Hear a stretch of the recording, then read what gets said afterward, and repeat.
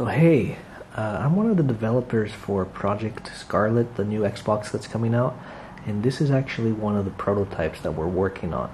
Uh, you might think that it's an Xbox 360, but that's simply because Microsoft has a habit of uh, using old Xbox cases for prototype hardware. That's to prevent leaks or anything uh, of that nature.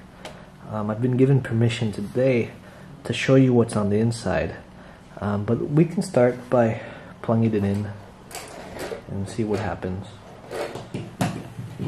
As you might notice, it's a familiar globe, a different color than usual. Uh, nothing unusual.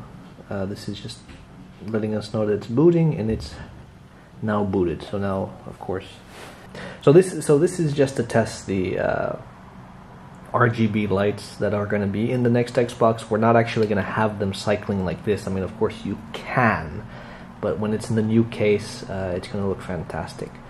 So now we're going to get to the meat of it, and the reason why we think that this Xbox 360 is going to put every other console to shame, and more importantly, it's going to be it's it's going to put PC gaming to death, at least for the next 10 years.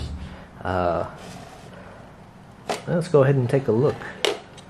So if we go ahead and look inside, sorry, this might take a little bit of time, but if we take a look inside and whoa,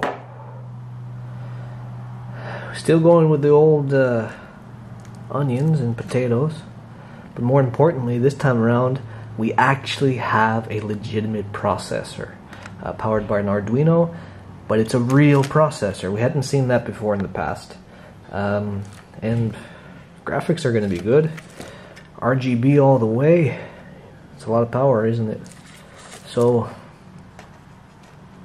quite a lot to expect. Uh, not really sure how the PC gaming industry is going to compete with this. Uh, you know, we we we saw you know we saw one potato with the Xbox One, we saw two with the 360, three with the Xbox One X. Man, four potatoes, two onions, and an actual processor. Jeez, what are they gonna think of next? Well, mark my words. PC gaming, it's dead.